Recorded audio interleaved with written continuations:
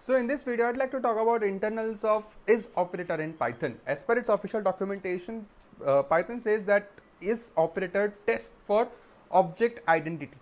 With respect to CPython implementation, it would check if uh, the two objects that the two operands in our expression they point to the same object in memory or not. It's as simple as that, right? Uh, while exploring the internals of is operator, we would stumble upon some really interesting, uh, some really interesting path that CPython took in order to implement it. Uh, let's start diving deep and just find out how it actually implements. So here, what I have is uh, I have the latest pull of uh, CPython.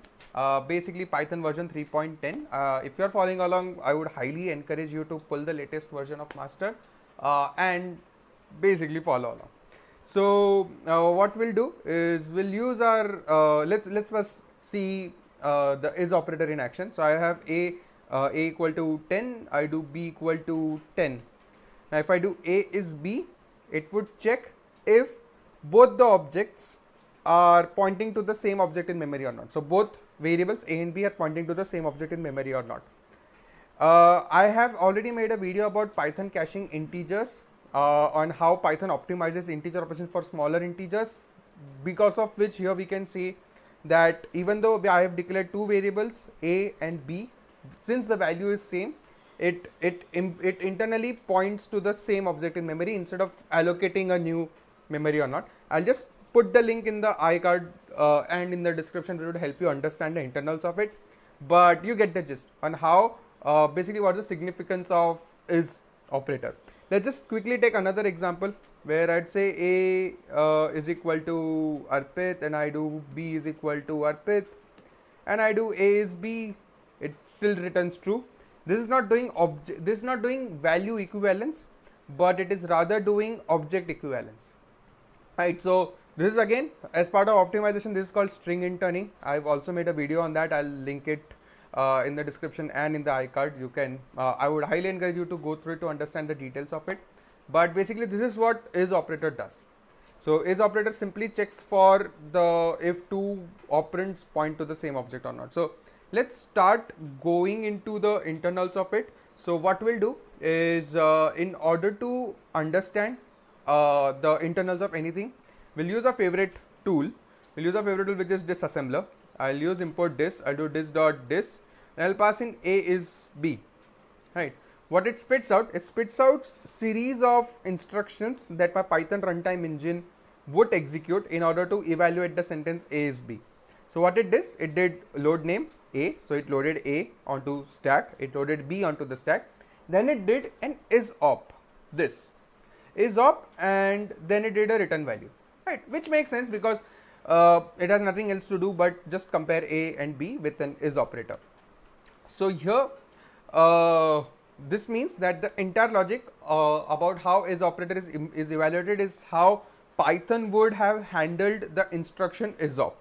So what we would do is we would open the file ceval.c which holds all the code uh, about all the instructions that we see over here. So if I take this thing a little down and I look for isop here at line number 3611 somewhere around you would see how isop is implemented. So once I have once the load name uh, on A happened load name on B happened which means that it added the right uh, so it uh, basically added A onto the stack B onto the stack and then it is invoking isop.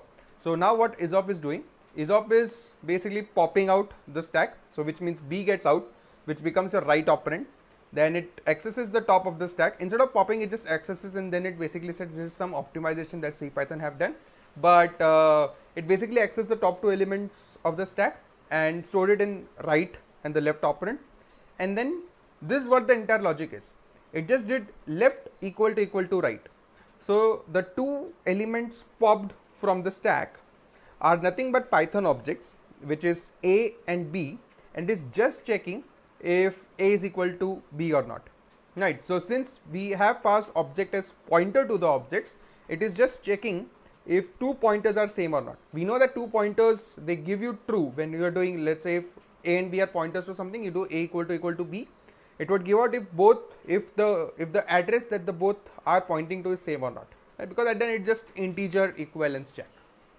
So this is exactly what C Python is also doing. It is doing left equal to equal to right while handling isop and storing it in res. There is something very interesting here. It is doing an XOR operation with op arg. Right. Let's come to it later because what we definitely know that while using is operator, it's more than enough to just do left equal to equal to right. Why do we have to XOR with something and make things complicated? So, uh, according to us, in order to implement is operator, it would have been very straightforward to do left equal to equal to right, store it in res, and if res is 1, we return pi true. If it is not, we return pi, uh, we, we, we basically uh, use pi false and basically set it on top of the uh, stack, right. But then there is this very nice addition to this logic which is XOR of op arg. We will come to it in just two minutes. Let's just go through uh, the bottom six seven lines here. Now once it has uh, the result, it, it it it basically saw that if it is 1, so if they are equal, it does a pi true, otherwise it does a pi false, and it stores it in B. Uh, it increases the reference of B, which means uh, uh, basically this is for garbage collection. Then it does a set top. Set top implies now the top of my stack would be set to this B, right? So instead of Instead of popping the second value and adding another value into the stack, what CPython is doing is CPython is accessing the top and then with the evaluated result it is setting the top right so this is some optimization that c python did internally. And uh, after this operation what we would have that top of the stack will be set to either true or false depending on uh, what the value of res is. Then it did a pi uh, decrement reference of left and right because they are they are not needed. Uh, uh, and then it did a predict pop jump if false pop jump if true. This is for short circuit evaluation and uh, some some very nice optimization that it does uh, this would come in very handy when we are uh, combining this part with multiple ands and ors you would see this in action but it's a little out of scope for this video we will just keep it things simple with just focusing on is operator here so now given this thing our overall understanding is very straightforward. So left equal to equal to right we return true otherwise false. But why is this an XOR of OP ARG? This was the exact question which I had while I was exploring this part. So basically what I did is we I, I, I definitely knew what my res should have been. It should have been 1 or 0. Uh, but with this XOR what is actually happening? Let's see what XOR would do. So if I have, uh, if my left equal to equal to right could be the 1 or 0. So if my A is actually B, then this expression left equal to equal will evaluate to 1, then it is XORed with OPARG. So now we know that final value of res has to be 1 or 0. So if OPARG is actually 1, right, so then and left equal to equal to right. So it would be 1 XOR 1 which is 0 and if my OPARG is 0 then left equal to right is 1 and OPARG is 0 and 1 XOR 0 is 1 right. So what does this mean? This OPARG is nothing but doing a not of the operation right. So if my left equal to equal to right XOR 1. So if let's say OPARG is 1, then 1 XOR 1 is 0 and 0 XOR 1 is 1. Right? And similarly, if my OPARG is actually 0, then 1 XOR 0 is 1, 0 XOR 0 is 0. So, I have no effect on my evaluation of left equal to right when OPARG is 0. What does this mean?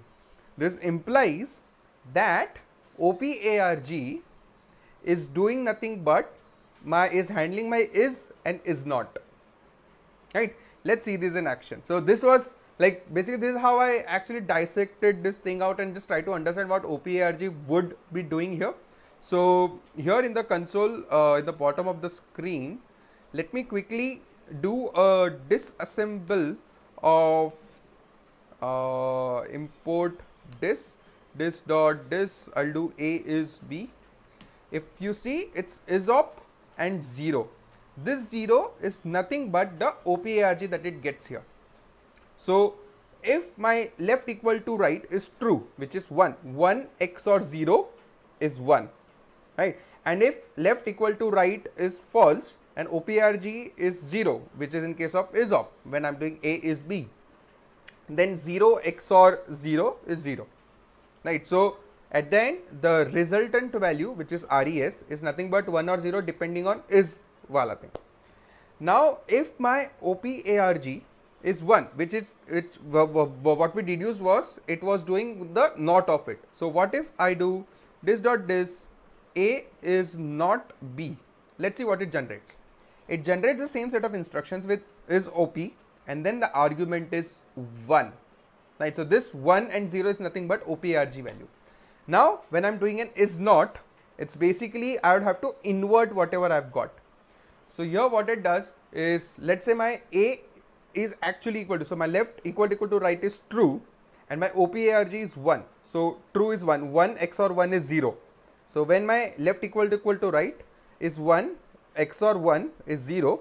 When my left equal to equal to right is 0 which means it is not equal XOR 1 is 1 right. So it is kind of inverting when my OPARG is 1 right and this is exactly how C Python implements is and is not using this very elegant way right. So if we were like normal humanish coder we would have done like if OPARG is 1 then do this else do this. Why did C Python developers not chose that and chose this very seemingly complicated way to implement this? The whole secret lies behind the actual machine level instructions which are created out of it. So whenever you add branching to your code, the actual machine level instructions that are generated, there are too many instructions which are generated versus doing a mathematical operation. So doing this operation of XOR, it's very cheap on the CPU because your CPU instruction set has a native support of implementing XORs and all the and all the bit manipulative operations, add, subtract, uh, doing XOR, NOT and all of those things. So C Python developers are actually leveraging that and making things a little complex for a normal sane developer like us to like basically understand. But this is such an but basically this is such an interesting implementation of a seemingly simple thing, right? So they opti so uh, uh, this is where we should appreciate how the actual developers of languages think about like every single CPU instruction that is being generated to make their language like as fast as possible, right? Now, uh, that basically now that we understood the importance of OPARG left equal to right and how is and isop are implemented, what do we do next? We trace the path from the grammar to this point, right? So, uh, if uh, where does it exactly read this argument? So, how, how, how does it get this argument? Where are these instructions generated and, and, and how it goes here? So, to do this, what we do is we open the python.grammar file. So, python.gram is the file. It's specifically to version 3.10. Uh, if you are using any other version, I would highly recommend to pull the latest code. Otherwise, the grammar has been totally changed in Python version 3.9. So, you might find a totally different grammar there, but it just would be same. So, what I do, I just look for is space not. Right. So, here we find, so this is the only place where it's is not and is are handled. If you see, it invokes this function by peg n by, by uh, then it does a cmp op expr pair and it passes p is not a and in the line just below it it passes is right? So here we see whenever it is getting is not it is passing is not and whenever it is getting is it is passing is. So these are constants which are defined in a file. We'll open that and we'll see what exactly it's happening here. So we understand that it is basically invoking the same function and either passing is not or is depending on what it got while uh, actually parsing the language. Next step, let's open this function. If I open this function, I wanted to search. If I open this function and uh, wait, instead of opening this function, it would be much simpler if I check for is not. If I check for is not, we find in file compile.c. Basically compile.c is the file where all the logics, where all the logic about generating instruction set is being done. Right. So we stumble upon this part, line 2531 ish, where if my case is is not, it does an add op uh, underscore i some c is op and 1 this is nothing but the instruction that we saw when we ran disassemble right? So for case is it is also doing is op. For case is not it is also passing is op which we actually saw while uh, during our disassembly. And what we also saw we also saw how uh, different op arg was passed and this is exactly where that op arg is passed. So if it is is i'm passing in 0 if it is is not i'm passing in 1 right? So this is where the code the instruction code that we saw during disassemble is being generated over here. So with this very simple strategy it is actually doing this. But now there is more. So if you see this is nothing but we would have seen like this is doing like normal comparison right so why are they not doing a compare op which we already saw in the previous video how they use basically compare op to compare uh, less than equal to greater than equal to and all of those things so if you see these are special cases. So for a general uh, comparison like equal to, not equal to, less than, less than equal to and other, these are doing just uh, setting CMP to that particular integer value. These are all constants which are defined like if you see it said uh, defined pi ge to be 5. So whenever you do that uh, a uh, greater than equal to b you would see that argument to be 5. Uh, let's let's try that now it, it's it's easier said than done let's check that i'll do import dis dis dot dis a greater than equal to b and if i do this what we saw that pi ge what it should do as per our logic it should uh, add an instruction so it would come here uh, greater than equal to is what you are doing we would set cmp to be equal to 5 and then it would do break once it breaks it comes here it doesn't add opi and adds compare OP and CMP. So CMP was set to 5 with that pi GE. If I do this, see the fourth here it took in compare OP which is right here and with the argument OPARG as 5. So through this it actually identifies that what kind of operator are we passing. Are we talking about equal to, not equal to, greater than equal to, less than equal to and those part.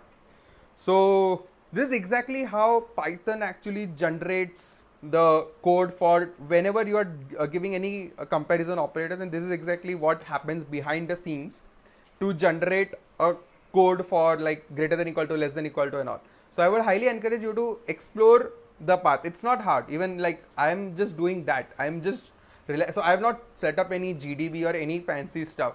All i am doing is control f finding the things out just just using my problem solving skills or just basically using my intuition to just drill down the code base and try to make sense out of this very seemingly complicated looking code but it is trust me it's really very simple to go through this and it's obviously very fun to do so as well. Right. So primarily in this one we explored how uh, the internals of is operator and is not even is implemented we explored how arguments are passed over here uh, one thing that I would leave for you guys to uh, explore is what exactly add op underscore i does, right? And while doing this, you would also stumble upon how to pass non-integer argument. Like that would be a very interesting deep dive for you guys to do. I would highly, highly encourage if you are into C Python internals and you find this amusing, explore that path. Uh, I stumbled upon few really interesting nuances there. Uh, I would highly encourage you guys to do it. And yeah we saw how is operator is implemented and is not also. And uh, basically that is it for this video. Uh, in case you guys like this video give this video a thumbs up. If you guys like the channel give this channel a sub. And i'll see you in the next one. Thanks a ton